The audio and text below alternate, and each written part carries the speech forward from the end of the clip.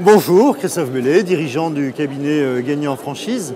Le, le, cabinet intervient dans trois sujets. On lance des concepts en franchise, comment devenir franchiseur? Nous accompagnons des franchiseurs un petit peu plus matures sur leur stratégie commerciale et leur stratégie développement, tant sur la France que sur l'international. Et nous avons une troisième activité, nous faisons du recrutement de franchisés. On travaille au global pour une grosse trentaine d'enseignes, Et internationale. La franchise, ben, c'est un secteur qui se porte bien. On a les quelques chiffres, 1850 franchiseurs, 70 000 franchisés et un petit peu plus de 370 000 personnes qui travaillent directement pour la franchise. Et si on parle en métier induit, on est à plus de 700 000. Ah, les tendances, on a bien sûr la tendance de fond sur la restauration, on a toujours la tendance de fond sur le service à la personne. Après, je pense que tout ce qui est service, prestation, euh, fonctionne, euh, fonctionne bien, voire même très bien. Et puis je crois qu'il faut aller chercher des niches. Et plus le concept va être différenciant, plus c'est euh, pertinent. Dans les concepts différenciants, si je peux faire un peu de pub, on a par exemple Répar Store, réparation de store, on est vraiment sur un tout petit marché. On a aujourd'hui des franchisés qui sont très très satisfaits. Euh, la garde d'enfants qui euh, se détache un petit peu du service à la personne, qui reste là, enfin qui est un bon, un, bon secteur.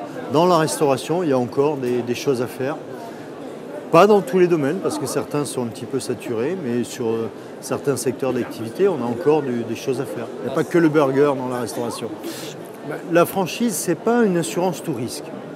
On réduit considérablement le risque ce qui est important, c'est de bien mesurer quel est le mode de fonctionnement du franchiseur. Et dans notre activité de, recrutement de, franchisés, on a sélectionné en amont plus de 30 secteurs d'activité. Donc on est allé chercher des secteurs qui fonctionnent, pas des secteurs qui sont éphémères, pas des secteurs qui euh, ont un faux savoir-faire.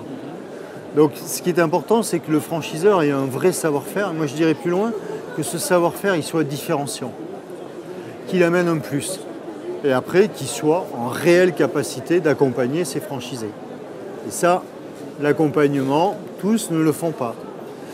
C'est aussi, est-ce que le franchiseur a une vraie formation?